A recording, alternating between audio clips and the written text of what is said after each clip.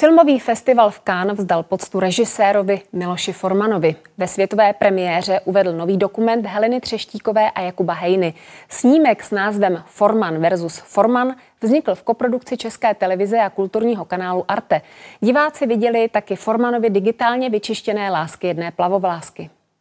Navzdory zatažené obloze to byl pro český film světlý moment. Dokument o Formanovi se dostal v Kán do hlavního programu a to se tuzemskému snímku podařilo naposledy před 25 lety. A nervózní nejste? Jsme. Jsme strašně. Jsme nervózní. Jsme. Rozefělí. Jsme, ale to my jsme někde i v té střižně. V dokumentu jsou neznámé záběry ze zahraničních archivů, včetně těch, které zachycují Miloše Formana při práci. Kromě nás, co jsme na tom pracovali, to ještě nikdo neviděl. Takže to je ta první chvíle, ta chvíle pravdy, ta zpětná vazba, takže hrozně jsme zvědaví.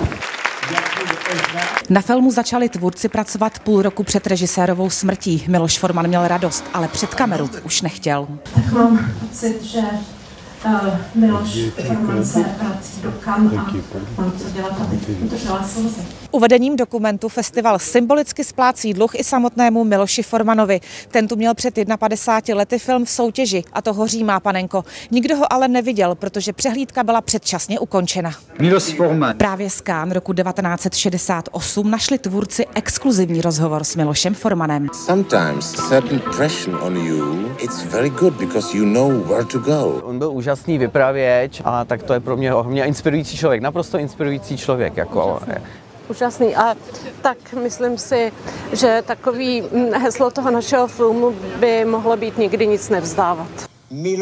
Člověk vítězící versus člověk pochybující. Rodák z Čáslavy, který dobil Hollywood. A dokument o něm zase nejprestižnější filmovou přehlídku.